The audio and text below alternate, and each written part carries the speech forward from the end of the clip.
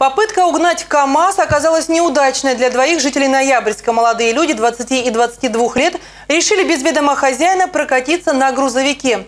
Дабы не нарушать покой владельца КАМАЗа, машину они угнали глубокой ночью. Однако практически сразу были задержаны сотрудниками ДПС.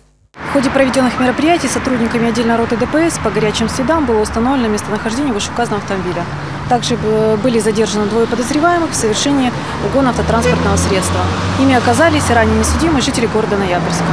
По данному факту следственным отделом возбуждено уголовное дело по статье 166 части 2 Уголовного кодекса Российской Федерации. В настоящее время проводятся следственные действия, направленные на установление всех обстоятельств совершенного преступления.